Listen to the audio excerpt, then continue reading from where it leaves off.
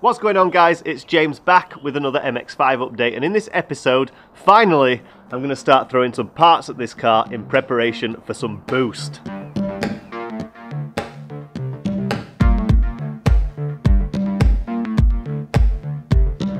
So with boost comes heat. The science of compressing air generates heat. So when I slap a supercharger on this car, this engine is going to be subjected to a lot more heat than in naturally aspirated form. So I've got to make sure the cooling system in this thing is in tip-top condition. Now, if you've been following this series for a while, you'll remember I replaced the water pump and the thermostat last year when I did the timing belt job. So I'm not too concerned about those two items. What does concern me though is the stock radiator in this car, which may or may not be up to the job. The truth is, I'm not sure, but am I going to risk potentially overheating the engine and damaging it because I couldn't be bothered to swap this part out?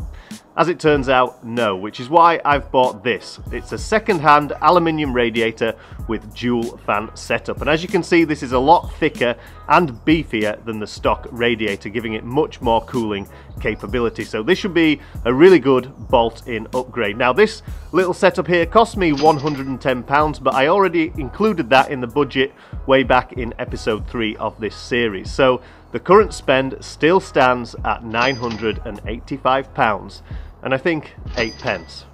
Something like that. Right, before I can remove the stock radiator, I need to drain the coolant. So right in the middle, at the bottom of this radiator, is the drain plug. So I'm going to whip that out, remove the radiator cap, and then just let this system drain down for a few minutes.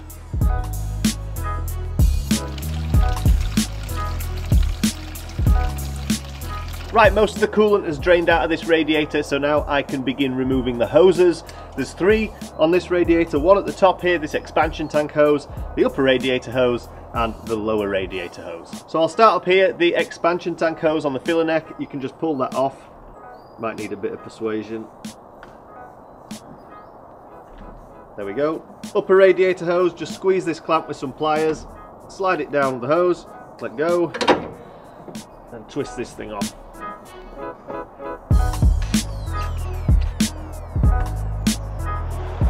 Right, that's taken care of. The last one is the lower radiator hose, and I think, yeah, I put a Jubilee clip on that when I did the timing belt job, so I just need to slacken off that Jubilee clip and then pull that lower hose. Okay, that's the hoses taken care of. The next thing I need to do is unplug the fan. So just squeeze that and pull. There we go. Oh, and then the harness needs unclipping from the fan shroud. Some long nose pliers. There we go. Put that to one side for now. Right, this radiator is almost out of here because the last thing I need to remove are these two brackets at the top here. Now these are held in place by a couple of 14 millimeter nuts, so I'll back those off, remove the brackets, and then this radiator should just lift out of here.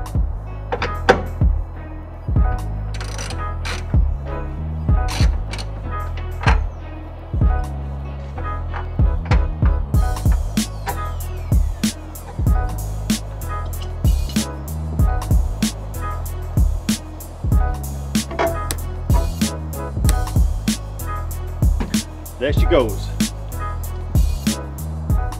Okay, that's the stock radiator removed. The uh, aluminium replacement should just drop straight in place of the old one. But before I do it, I need to make sure I've swapped the bushings over from the old radiator to this aluminium radiator. And then once I've done that, I can just drop it straight in this hole. Right, we've got the bushings in place, two on the top, two on the bottom. Let's get this thing in.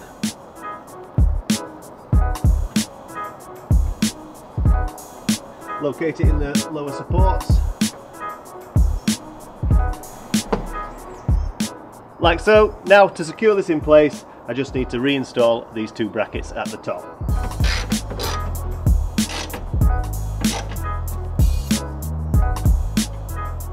Great, that is securely fastened in there, so now I just need to get the hoses back on, so expansion tank hose, upper radiator hose, lower radiator hose.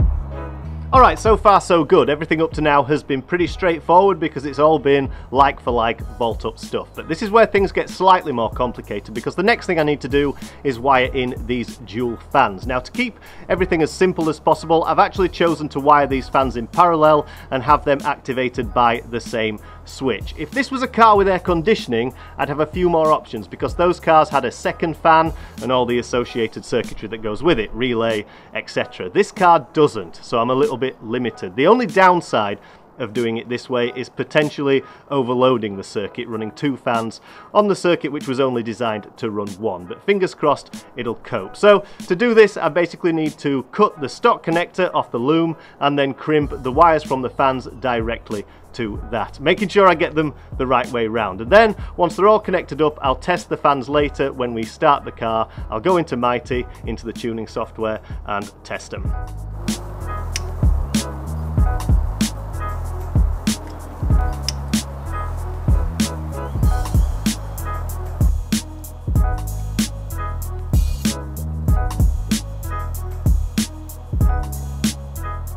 Right, we've got the radiator all buttoned up and the fans are wired in and I've also moved the car out of the garage because shortly I need to start the engine and one thing I have learned about having a garage directly under your house is that if you start the car and run it for a while in there your house stinks of exhaust fumes and it also sets off the carbon monoxide sensor as well so that's why I've brought it outside. Next up I need to refill this cooling system. I'm going to reuse the coolant that I removed because it's still pretty fresh but if you've removed old stuff I'd always recommend replacing it with fresh coolant.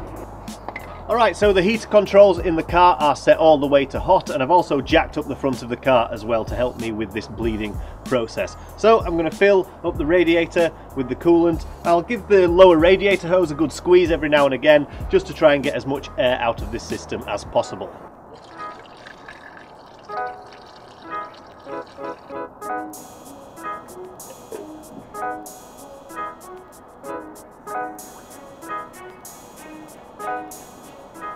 Right, I've got as much coolant as I can possibly get in this radiator, so now I'm going to start the car, run it up to temperature, keep an eye on this level here and top it up if necessary.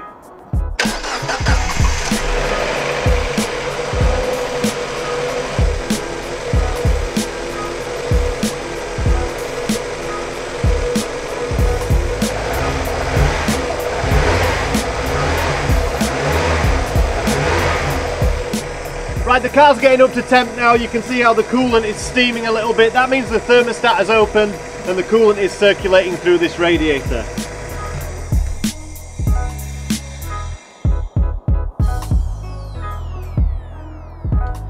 Right, that engine's been running for a while now, it's fully up to temperature, the thermostat's opened and it's been circulating coolant through this radiator and I'm pretty satisfied now that all the air is out of this system. So the next thing I need to do is bung the radiator cap back on. Now this radiator actually came with quite a sporty radiator cap, it looks a lot nicer than the stock one and it also has this fancy push button on it so you can release the pressure from the radiator without having to remove the cap itself and potentially without burning your face off as well. So that's always a nice feature. So I'm going to bung that on there. I'm going to top the expansion tank up just a little bit. It doesn't need much. And then we should be fully bled and good to go. And the last thing I need to do is test these fans.